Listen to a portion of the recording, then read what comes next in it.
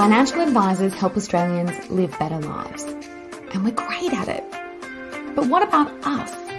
For us to thrive in the coming years, I'm here to ask a very big question. How can we live better, run better businesses, and help more clients along the way? My name is Jessica Brady, and I would love for you to join me as I listen and learn from experts who answer these very big questions.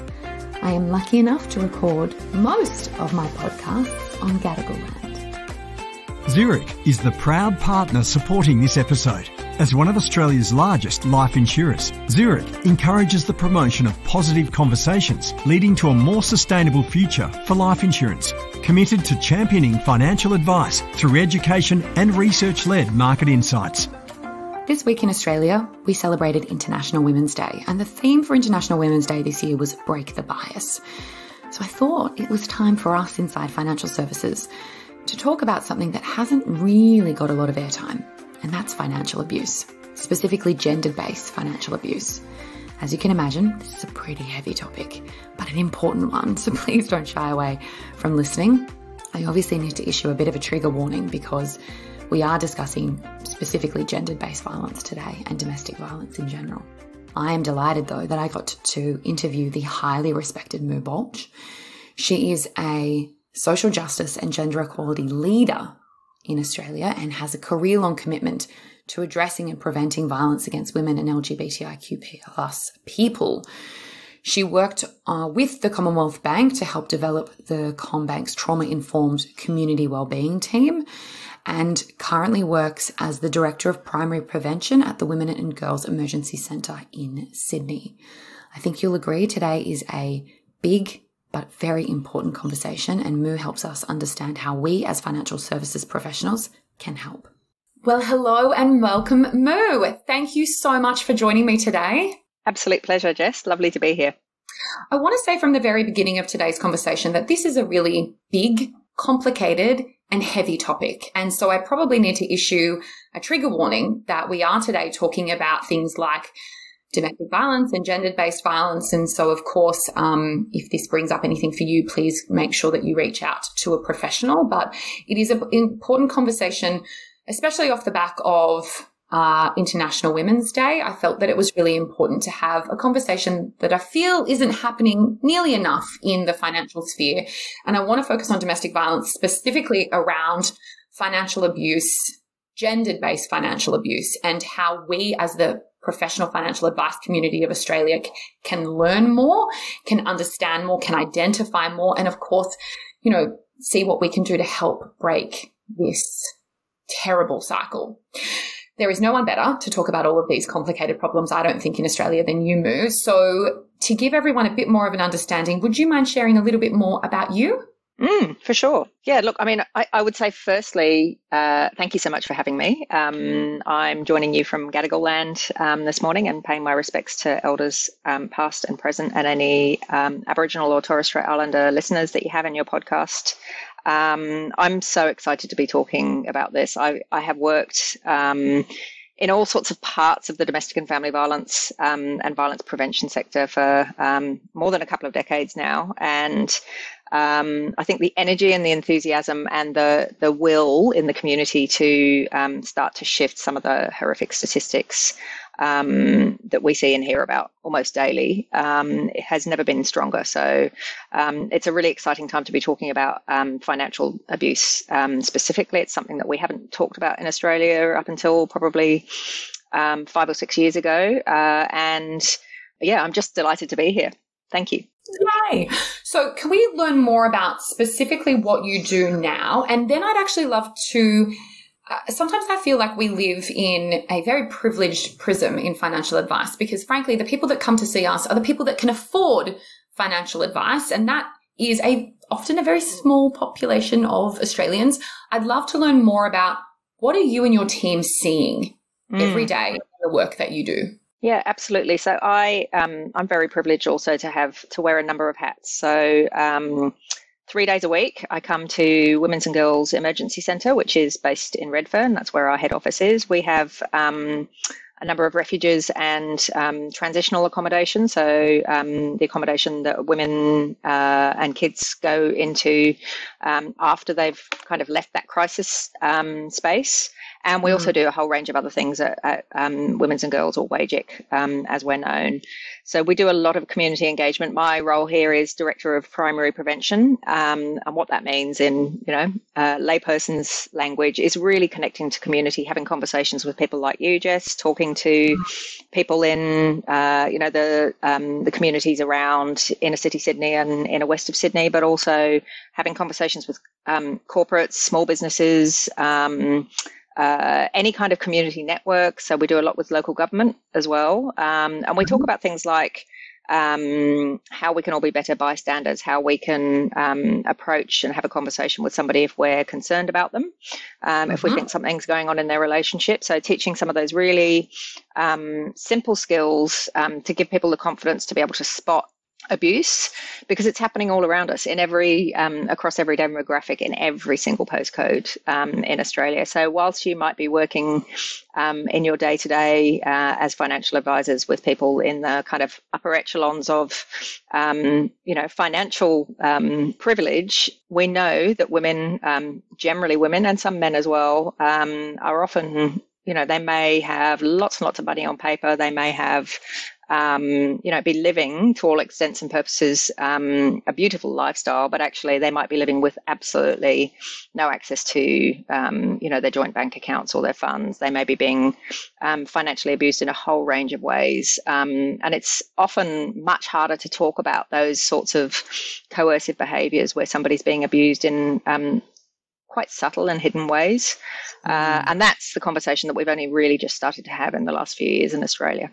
I think that that is such an important point because we like to believe that domestic violence in Australia doesn't happen. Firstly, I think that there is sort of, if you, if you don't live in it day to day, you just assume that no one does, and yet all the stats tell us otherwise. And you do assume that people in a higher socioeconomic standard of living are not affected by it. But we know that that is simply not true, correct? Yeah, that's absolutely right. And um, it's so timely that we're doing, um, we're recording this podcast um, today in late Feb because um, I was really privileged. One of one of my other hats is um, providing advice to the Commonwealth Bank on their uh, financial abuse um, responses and, and prevention. Um, and so yesterday morning we had a beautiful launch um, of uh, a couple of things actually, one of which is um, another podcast um, done by Future Women, which I'd really encourage people to, to check out. They're releasing an episode a week and it's centered around the voices of victim survivors. So the voices that often you don't hear. Mm. Um, but also, um, we launched uh, a report by Deloitte. So this is the first time that anybody has tried to quantify the direct cost of financial abuse in Australia. Um, and what they did was they took a, um, a, you know some slices of um, research and they have found that the direct cost of financial abuse in in 2020, um, so in a 12 month period, um, is a staggering 5.7 billion dollars um, in Australia, uh, with an estimated cost to the economy of 5.2 billion. so. Uh, 600,000 people over 18 years um, old um, in Australia last year was subjected to financial abuse. Sorry, in 2020. Sorry, just to pause on that because I think we have to. Yeah, it's a, it's a big number, right? yes, it is. It is, and I, I, feel that that needs its own sort of pause and reflection. Mm. Six hundred thousand people in the 12 months prior to that report, sort of data being launched, were suffering actively from financial abuse. Absolutely. Um, we've never had that kind of number before. We've never really been able to quantify it in that way. Part of the problem, I think, in our space is, um, you know, we have some we have some pretty shocking statistics. You know, we know uh, that one in um, four women will experience um, physical or sexual violence in their lifetime. We know that one in 13 men will experience some form of um, intimate partner violence as well. Um, you know, we've all heard the statistic of um, uh, a woman a week um, dying. Mm. Uh, and and that stuff makes headlines now, Jess. You know, that's um, my reflection as somebody who's been around in this space for a while now is that those those sorts of numbers were not even available um, yeah. a decade ago. However, we have to be careful to think that behind all of those numbers, you know, behind every single one of those 600,000 people is an incredibly complex story, often of extreme power and control. And so the financial abuse is often a part of all sorts of other um, types of abuse that are going on. Often not physical abuse. You know, uh, many of these people will completely fly under the radar. There will be no you know, calls to the police because there's no physical violence. There will be no, um, uh, you know, reaching out to a service like WAGEC um, for support mm. because, um, you know, many people don't reach out to those to those services and supports for a whole range of reasons. So um, there's a lot of hidden abuse going on, often that people don't even recognize is, is happening because of the context in which we're having this conversation. Then we can only assume that that 600,000 is the minimum number of people that have been affected by financial abuse in Australia. And the number could be hopefully not, but it could be significantly worse.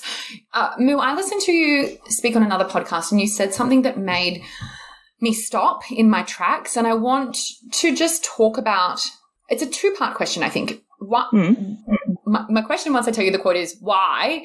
And then the second part is why do you think financial abuse as a category has been left out for so long? I'm very happy and delighted that we're starting to talk about it, but I'm keen for your expert mm. thoughts on why it hasn't been a, a conversation to now. But what you said when you were being interviewed is violence is at the heart of Australian culture. Mm, well, that's a massive question. We could probably talk for hours about that. Um, I mean, I think when you when you consider where um, Australia has come from in a um, in the sense of um, as a modern country, um, certainly post-colonial um, Australia or Australia since colonisation, it's been built on pretty pretty rough and extreme circumstances for lots and lots of people, um, particularly Aboriginal and Torres Strait Islander people, mm. um, but also a whole range of other people um, in Australia, and particularly women. You know, uh, I, I really firmly believe that we have uh, a particular set of circumstances in Australia that um, support gender inequality and have done for for a very long time. So while we've seen advances um, in other countries and a, um, a real challenging of um, some of the conditions that sit around gender inequality, um, I think we've got a way to go here in Australia. Having said that, um, we've also got some really smart people working on it here.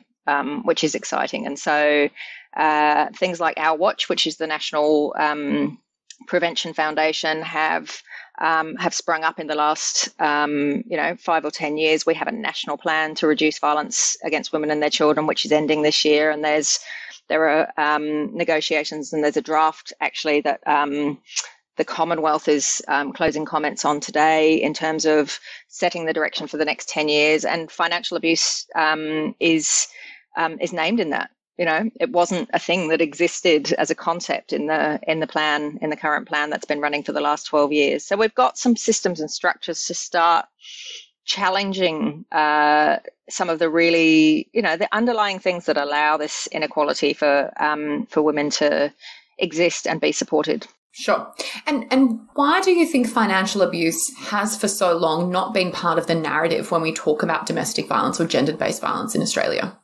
A couple of reasons, I think. I think partly because um, for so long, domestic violence was just the business of women's services, so women's frontline, you know, feminist services, um, mm. refuges, those sorts of things, and nobody wanted to listen um, to um, to what was going on.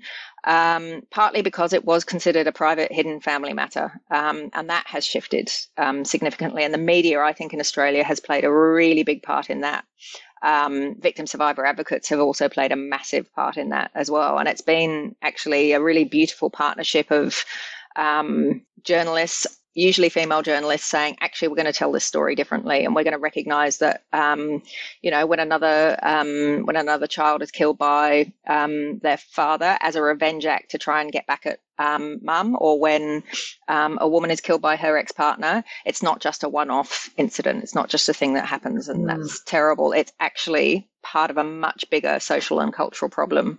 And we have in Australia um, a whole lot of attitudes that are widely held in the community that um, that support or excuse violence. The stats in Australia today are something like 80% of financial advisors are men. I think the average age of a financial advisor is 55 to 58. And I don't have the stats, but I'm going to make this up. I would say between 80 to 90% of financial advisors in Australia today are probably white, heteronormative, cisgendered men. And so this is a whole new big conversation that they may not have ever, ever mm. had to think about having before. But I, I think it's important to say that you've had client, you, if you've been giving advice for a long time, you have had clients that have been the victim of domestic violence. You have or have had clients more than likely that have been a, um, a victim of financial violence. Can we talk about red flags? Mm. Can we talk about things that we should be looking for and what to do if we suspect mm. there is finan- uh, domestic violence of any kind in a client base or a client couple that we have? Yeah. I mean, and I guess um, some of the things we're going to talk about now also apply to your broader life, right? Because we know this is not just happening in people's workplaces and um, with clients. We also know it's happening to people's siblings, to people's parents. You know, um, now that we've kind of blown the lid on um, the the size of this problem, um, and we've started talking about it in a much more sophisticated and, and nuanced way. We now know that um, actually it's everybody's business to try and resolve this. So it's no longer just the business of women's services and the police, um, which was the way it was for a really long time. Mm, um, sure. So some of the things that are probably um, that may be red flags, some of the things that you may see or witness would be um, if a person feels really if if they look as if they're quite isolated um, they may be cut off from um, friends and family and that might be a long slow process um, which is really quite deliberate so isolating somebody from their support networks, um, sometimes from you know their um, religious or cultural um, connections that might be preventing them from going to church or going to the mosque. It might be um, stopping them from participating in things like Mardi Gras. Um, for some people, mm-hmm. Mm-hmm. Um, if you see somebody who appears to be walking on eggshells, so there's there's that fear, you know, coercive control is all about creating and then maintaining a level of fear um, and so it might not ever be fear of, you know, physical violence. And this is one of the things that I think we need to, you know, keep chipping away at that the, the myth that domestic violence um, results in um, physical injuries and broken bones. Um, for many, many um, victim survivors of violence, you know, they say there was never any actual physical violence. It was the threat of, it was the threat to, um, you know, take me to the family court and take away my children. It was those sorts of things that, that I knew that he would pursue to, you know, as as far as he could because um, he didn't want to lose um, that grip of power and control that he had over me. It might be um, that she's not allowed to do things, or um, so it might be that she's not allowed to participate in the workforce or study Mm. to be able to have those kind of connections to the outside, um, and also to be able to have financial independence as well, particularly where you have clients who might be, you know, pretty lucrative on paper. Um, you know, there might be six or seven cars in the driveway. Um, you know, multiple bedrooms in their in their house. They may have lovely country properties, but um, if she's not allowed to make decisions um, about uh, the joint fi- finances, if she's being potentially coerced into, um, you know, taking out loans or signing up for things which she has no control over or no knowledge about um, what those impacts might be. That's certainly a sign of, um, of financial abuse. She might also look a bit um, overly anxious to please as well. Um, and so I think uh, there's a real structural piece in here around, um, you know, women traditionally have not had access to the same type of information and education around um, financial things. And I, you know, I count myself as one of those people. Um, I'm, I do not think I'm particularly fin- financially literate, but um, I've understood a lot more kind of um, ha- having worked in this space, um, you know, particularly with the last few years with banks, because I think there is some there is some structural stuff. There's some extra care that we can take with people with clients where. Um, I mean, you know, whether when you're talking to a client, whether they kind of get what you're talking about or not. So making sure that they are walking into those joint decisions, um, really understanding what the implications might be, um, you know, down the track if if things do go wrong. And then I guess um, in terms of knowing uh, what to do next, so um, somebody may disclose to you or they may not disclose to you. Um, if someone does disclose to you, you may be the first person that they've ever had that conversation with. So just making sure that you're really careful around that. Um, and there can be a whole range of reasons why they haven't disclosed to um, you know somebody they know. Um, it might be the only time that they've actually been in a um, in a space one on one with another person. They may not be allowed to go out and do um, other things. So um, just really actively listening, um, telling, being as non-judgmental as you um, as you can, reassuring them that um, you will try and find them some help and support.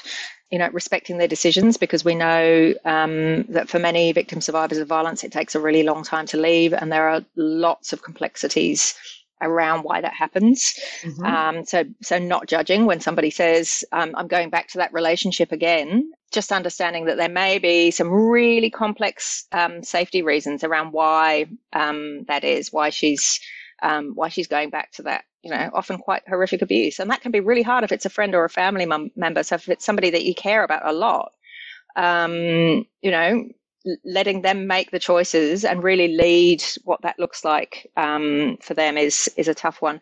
And and finally, also um, just taking care of yourself a bit as well. So if you are a support person, either in a um, in a client um, relationship, or if you're a support person um, in that more p- personal sense, just making sure that you have things around you that um, a maintain your safety and also your mental health and well-being, because it can be really hard to hear about some of this stuff, um, whether you're you know personally connected to that um, that individual or not when I was doing research on financial abuse, because one of the reasons that I wanted to talk about this was I don't know a lot about financial abuse in Australia. And I'm shockingly embarrassed mm. to say that as someone who cares deeply about financial advice and financial literacy for Australians, particularly women, and identifying as a female. I wanted to learn more, which is why I wanted to have this conversation today. So when I when I looked into it, one of the things that came out immediately as sort of a red flag, if you like, around financial abuse was that the financial abuser will, and I'm using inverted commas here, take care of the mm-hmm. finances. And that just resonated so deeply with me because for so many of us who are financial advisors, there are so mm. many situations where one person will be the dominant sort of relationship contact or decision maker. And it just mm. really reminded me that sure, there might be a natural inclination to be more interested in the financial world, but I think we as financial advisors have a responsibility to make sure that in couples, both of them regularly and consistently turn up to meetings, postponing mm. or canceling meetings or having separate meetings with the other person that wasn't able to turn up potentially unexpectedly on the day because even if the person says, I'm going to go back and relay it, or we've talked about it and I'm confident that this is the strategy, we're potentially not identifying a red flag there and or helping people learn more about financial literacy. And what we know in Australia is that, and Moo, take comfort. On average, when you look at it through a gendered lens, men feel more competent about mm. managing the money. They feel more confident about managing the money. But actually, when you look at, um, and there was industry research done on this a few years ago, women pale in comparison when it comes to the confidence piece, but they are just as competent. And so we've got so much myth busting to do to say to mm. women who might say, I don't, I don't understand it. I don't, I don't really get it. And what they do is they create this self-fulfilling prophecy where they lean further and further out and then the men lean further and further in. And then we do end up with situations mm. where they do take more control. And that to me is just the canary in the coal mine that is helping perpetuate these problems. It's such a good call, Jess, because I think there's there's two parts to that, right? So there's the there's the piece around prevention, which is um, you know kind of where it's at now, right? Um, we have spent um, sort of 40, 50 years building really strong um, women's crisis service responses. But actually, what we've recognised here in Australia and, and in other countries is um, it's no good just doing that um, constant crisis piece all of the time. We have to put an equal importance, um, and that's you know why I'm really privileged to have this role here at WAGEC is on the prevention piece, and so that's having conversations with your kids from the earliest ages um, that are all about framing gender equality for them. Because um, if you start breaking down those stereotypes from when they're, you know, and I can say this because I've got a, an 18 month old and a, and a five year old, if you start having these conversations with them now, um, then you are setting them up much better to have that level of confidence to be able to ask the right questions or connect to the right places to get the information, which is what we've, you know, traditionally, historically, we've done that for boys always, right? Um, and that's what that's how the boys' club kind of um, manages to um, perpetuate itself. So there's, the, there's the prevention piece. There's also the piece around, you know, you have unique opportunities to have um, to have conversations with with couples, and sometimes that will be, you know, both people together, and sometimes that will be um, both people separately. But um, because financial abuse is something that is really not understood, and it's not part of the um, kind of mainstream um, conversation around uh, domestic violence, intimate partner violence, gender based violence. Um, there's also that kind of responsibility to go. Um, where can we take that extra care? Where can we um, have those conversations in a different way that actually um, raise awareness for people who are potentially experiencing this and, and making sure that um, you know, if somebody does disclose, which they may, um, they, you know, it may be that you, they, you say something to them and it suddenly um, triggers, you know, a, a, thought pattern or a, um, uh, a series of um, kind of inner revelations around what's going on for them. And you may be the person that they reach out to. Um, you know it may be that um, in the financial sense that's the easiest way that they can understand what's going on in terms of that misuse of power and control. So just making sure that you're equipped to be able to point them in the right direction because we don't need to make all of you um, domestic and family violence um, experts. You don't need to be specialists in this stuff. It's um, it's having a bit of empathy, it's having a bit of understanding, it's being able to use your professional skills to really guide people in the right direction to get that help where they need it. And that's what we do every day with a financial lens on. And we can absolutely adapt that to make yep. sure that we can help them in another way as well. What if you suspect it? What if you suspect it, but they haven't outwardly said anything? Mm. Um, it's a really tough one because you may be messing with somebody's safety fundamentally. So um, I, I, think when it's a friend or a family member or a colleague, it's probably it's easier to make a judgment around those circumstances to say, look, I'm worried about you. Um, your behavior's changed. You've stopped turning up to family events. Um, I'm concerned. Is everything okay? Uh, or, you know, I heard the way that my brother-in-law was speaking to you. That's not cool. Um, you know, to have that kind of uh, that more gentle conversation and recognize that they may or may not be ready to to um, uh, to talk to you and have you know that kind of intimate level of conversation with you. Um, if you see it in a workplace, um, certainly workplaces I think have come a really long way in terms of um, starting to have quite strong um, responses and um, and support structures for victim survivors of violence. So a number of workplaces now have um, paid domestic violence leave. Some have unlimited paid domestic violence leave. Some have leave that you can access um, to be able to support, you know, a, a, family member or somebody really close to you who's going through the process of extricating themselves from um, from domestic violence. So we're we've seen. Well, we are seeing a real shift in that space in terms of the role of business and industry to um, be able to support their workforces and um, and people within um, their workforces if it's a customer or a client, I would say it's very dependent on the relationship that you have with them. Um, probably being aware that um, most banks now, most financial institutions have, you know, that extra care um, team or role somewhere within them. So um, recognizing that um, that might be the most appropriate place to kind of point them in the direction of if it's look, looking, you know, purely financial. Mm. Um, but also also being aware, of course, of one eight hundred Respect, which is the National Sexual Assault assault and domestic and family violence um, counselling service. It's um, 24 7, it's confidential.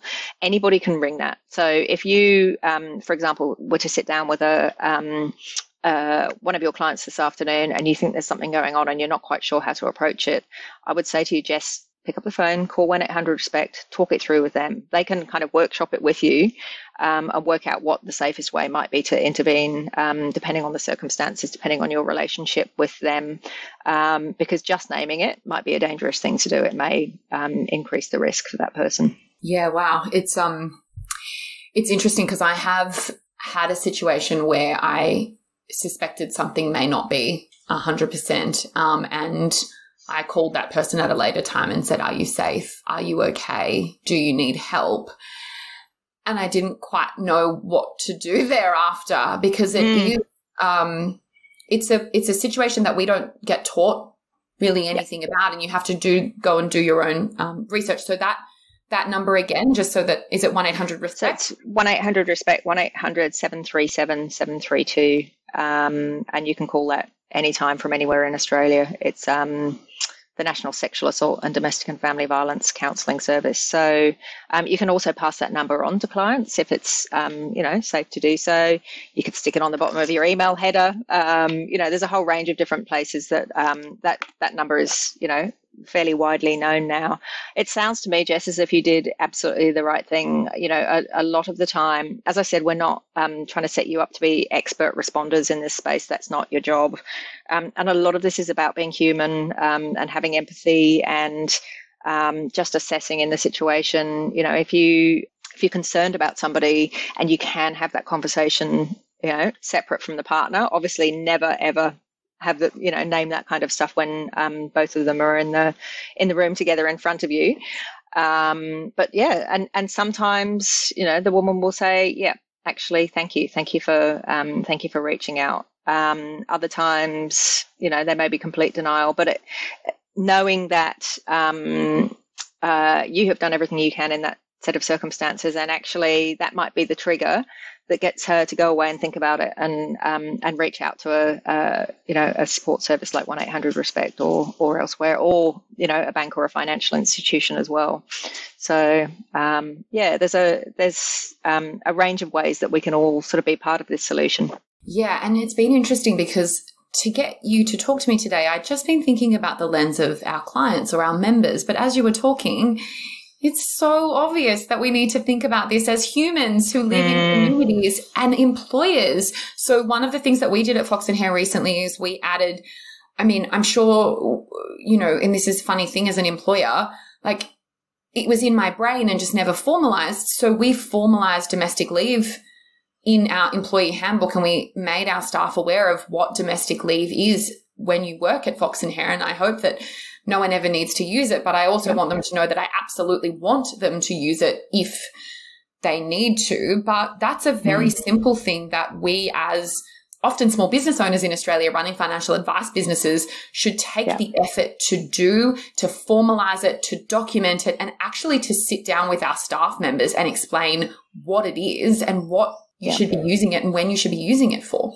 Yeah, and that's that's spot on. So it's you know um, for many people it will be a symbolic thing. So it'll be you know we are saying within this business and recognizing that for small businesses this um, you know building in those sorts of things can be um, can be a challenge but saying actually this is a priority for us not because we think you know every staff member is going to need it on an annual basis but um, it needs to be there for people um, that you know when they when they need to take it. Um, and domestic violence leave i think is something that um, is um, growing in popularity all over the world now. You know, there's um, significant numbers of um, businesses of all types are, are, starting to take this on. Of course, the piece that needs to sit around that is the awareness and the um, in larger businesses, for example, um, you know, in some of the banks, is having making sure that you've got the right kind of structures and systems so that if a staff member does need to um, disclose anything to you know their line manager, that they've got safety and confidentiality around that. The other piece I think that's really interesting that um, that business is starting to take on is also how do we how do we deal with perpetrators? How do we deal with people who are using violence? Um, in workplaces because you know just as we recognize that um, you know one in four women is impacted by this in her adult lifetime we know that significant numbers of um, of men are you know turning up to work every day sometimes using workplace resources to actually further that abuse um, and often you'll see some of those sorts of behaviors um, that might um, might belie that they have those underlying attitudes about um, about women, um, about gender equality. Um, certainly, some of the stuff we've seen in the sexual harassment place and um, Kate Jenkins' Respect at Work um, report a couple of years ago. I think it all kind of ties in, ties in and is part of the conversation that we're having now. And is that, excuse my ignorance, is that just noticing language, commentary, off the cuff comments, you know, behaving in a way that is disrespectful to people and and calling that out? Is that is that quite yeah, simply what we're talking yeah. about? Yeah, absolutely. And recognizing that um, you know, if you walk into a um, into a meeting and there is, um, and it usually is a guy, let's face it, a, a man um, who continually talks over women, um, who um, uh, regurgitates her ideas and brands them as his own, um, who you know is constantly telling jokes that are a bit off, they're a bit sexist, racist, you know, those sorts of stereotyped uh, things, recognizing that the people in that room who don't have the power are probably the least comfortable and the least equipped to be able to um, to call that out. So uh, again, it comes back to that kind of bystander piece of you know how can those of us who are in the room and who have a bit more of a voice, how can we challenge that stuff and say actually that's not you know the behavior that we want, and do you realize that you just spoke over her? Um, you know, and most I think most businesses and companies now have a reasonable set of structures and processes around around that in um, you know internally. This topic, I could talk to you for so long about this because as you're talking, I'm thinking about sort of all of the the differing intersecting components to this as financial advisors, as sometimes business owners, as employees or employers, as parents, children, friends, siblings, you mm. know, this does pervade every area of our life. And I, I really feel that whilst this is a complicated, challenging and difficult conversation, it cannot be something that we push to the side to deal with mm. later when we have time, effort, energy and resources because that just isn't acceptable. And, and it's so evident that the community and our expectations as members of the community have been shifting for a very long time, but the vocalization of that has definitely been louder and stronger, I think, in the last few years, particularly mm. younger women saying like, no more. And we're not putting up with this. And, you know, without wanting to be overly crass, like I think financial advisors have to recognize that even if your member base is old, wealthy white men, their children are going to inherit their money soon and they will not want to work with people that don't care about this stuff. And so the idea that this is someone else's problem, that I've got too many regulatory issues or, you know, mm. business considerations, it just can't happen. We have to hold space for thinking about what can we do? Not that we can be heroes and fix everything. And it's great to hear that there's some fantastic resources, but um, yeah, I just feel like the time is now to be having specifically financial abuse conversations. Because as I said, I mm. felt like for the longest time, this hadn't been something that I had learnt very much about. And I do feel we're in a privileged position to educate Australians that financial abuse is a thing, that it is real, that it clearly impacts a lot of people. And I look forward to reading that Deloitte report and that we can potentially help people learn the red, um, the red flags as well. Mm. And and to be part of that um, that prevention piece of you know like let's shift it for the next generation because I firmly believe um, that in a generation's time, we now know. I mean, things like the Deloitte report that came out yesterday, we have such a sense of the pre- um, the prevalence and the impacts of this violence, right? So, a generation ago, we didn't have all the information. We didn't know how bad it was, who was being impacted, what those impacts looked like over the um, course of a lifetime. Um, you know, we didn't know that the experiences of women were so much worse than men, or it, when we did know it, we didn't. We just didn't talk about it. It was just accepted. We know now. We know what that is, this is doing to um, to children and young people who are growing up in um, in violence in households. We know um, what the impacts will be if they don't get um, the right kind of support and um, and responses on the other side of this. So I firmly believe that if um, if we don't fix it now, and if we don't, you know. Uh, use the information that we have now and the breadth of knowledge that we have now about the size of the problem or what we need to do to fix it, then um, in a generation's time, they'll be coming back to us saying, You were negligent. You knew the size of the problem and you chose to do nothing about it because it was an uncomfortable thing to talk about, or, you know, it was difficult to challenge because it was something that was going on in your immediate family. yeah, and I I understand why young women are so angry about this. I understand why older feminists are so angry about this because they've been banging their heads up against the patriarchy for, you know, 40, 50, 60, 70, 80 years and they haven't seen enough change happen yet. Well, I'm delighted to have you to help us learn more about this uh, uncomfortable but very real um, situation that is occurring. And I can't thank you enough for spending time teaching us and helping us identify it today. Can I change complete tact because today has been quite heavy? Um, but I, I, do want to say thank you because I know that um, your time is very precious and I'm delighted to have you. But I would love to round out today's conversations with a couple of rapid fire questions to you, if that's okay. Go for it, Jess. Yep. okay. I want to know. So, my podcast is all about how do we live great lives? And so, I think today's conversation is about how we can help our clients live great lives. Um, yeah. But this is sort of more holistic. So, I want to know what is one thing that you do to look after your mental health? I have a bath every single morning before I um, start my day. I was born in England, I'm, you know, and I'm very firmly English in my bathness. It's the thing that keeps me sane. So um, if I don't get my bath, uh, it's not that my day falls apart, but there is definitely something missing. That is the most exciting thing I have ever heard. As someone who is an aspirational bather, and I get like one that one a week, every morning just seems every so morning. and amazing. Every morning. Congrats to you. I mean, don't get me wrong; it's not a long bath. I have two small kids, so um, it's often like a kind of two minute soak, but it's it's it my counts. time. it totally counts. Uh, what would you say to younger Moo? What's one piece of advice you would give younger Moo? Oh gosh, um, enjoy all the travel. Enjoy all of the moments, even the ones that feel really dark and intense, and you're not sure where you're going next. Um, it definitely takes you on the journey to where you are right now. Love that. One thing that is yet to be ticked off your bucket list. Uh, well, it's not yet to be ticked off, but I want to go back and live in Europe again sometime soon. I miss Spain very much. So maybe living on a Spanish island. There you go. Oh, that would be amazing. I have a fake book club, which is just books that I read and then I give my opinions to the world. Mm. Do you have a book for me to add to my fake book club? Oh, I do. If you have not read um, Chelsea Watego's Another Day in the Colony, get it and read it. I mm. very, very rarely get to read these days. I um, I did a degree in literature and language, English, way back in my um, late teens, early 20s. And so I used to read, we used to have to read about 14 or 15 books a week for university.